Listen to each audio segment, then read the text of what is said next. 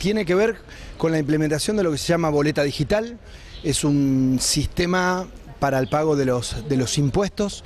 que está relacionado directamente con, la posibilidad de no, la, de no emisión de la boleta en papel. Son para que usted tenga una idea, en un año se emiten 12 millones de hojas a 4 para, para, para, estos, para estos impuestos que además tiene un costo para la, provincia, se habla de 20, 30 millones de pesos, todo el proceso de,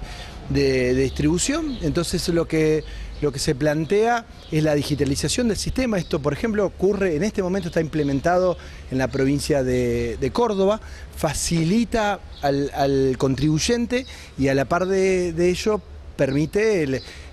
ahorro no solamente monetario, sino en términos de lo que significa la sustentabilidad del medio ambiente. ¿Esto sería voluntario en un principio, parcial? Bueno, planteamos de implementación parcial, planteamos que el Ministerio de Trabajo también mensure el costo laboral que puede implicar la no, reparto para ver cómo capacitando, formando eh, a los trabajadores de manera tal que estos avances tecnológicos no vayan en contra de la variable del, empleo, de implementación gradual y con algunas consideraciones. La emisión de papel está probado que solamente el 10% utiliza efectivamente ese papel para pagar el impuesto que va a haber siempre una posibilidad,